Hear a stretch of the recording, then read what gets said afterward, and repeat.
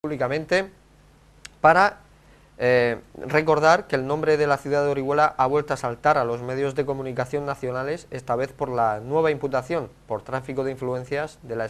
exalcaldesa diputada provincial Mónica Lorente a causa del proceso de adjudicación del plan zonal de la Vega Baja que finalmente fue adjudicado al empresario alicantino Enrique Ortiz. Esta nueva imputación se suma a la larga lista de imputaciones judiciales por diferentes casos de corrupción política que arrastra Lorente, como son prevaricación, fraude, malversación de caudales públicos, tráfico de influencia y revelación de secretos. Todos estos delitos son argumentos de peso para exigir su inmediata dimisión. Así lo ha dicho esta mañana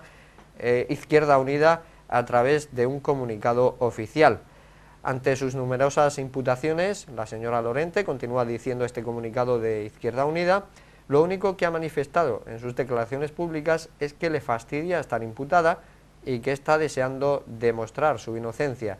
Declaraciones que consideran desde Izquierda Unida una auténtica tomadura de pelo y falta de respeto al conjunto de la ciudadanía.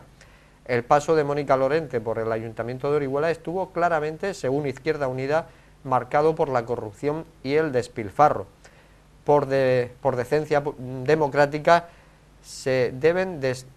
y así lo dice Izquierda Unida, desterrar de las instituciones públicas a todos aquellos imputados por delitos contra la administración pública y por ello exige la inmediata dimisión de Mónica Lorente y del resto de concejales del Partido Popular imputados en los diferentes procesos judiciales.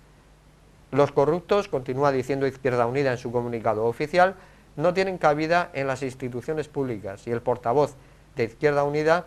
Cambiemos Orihuela, Carlos Bernabé, ha afirmado también en ese comunicado que es absolutamente necesario construir una herramienta política que contra la, contra la lógica de la corrupción oponga la de la participación. Insiste Carlos Bernabé, como portavoz de Izquierda Unida Cambiemos Orihuela, en que para que una institución no dé la espalda a la gente hace falta que esté controlada y vigilada por la, por la propia gente y por eso llaman a participar y no solo confiar en el cambio político que destierre la corrupción de Orihuela.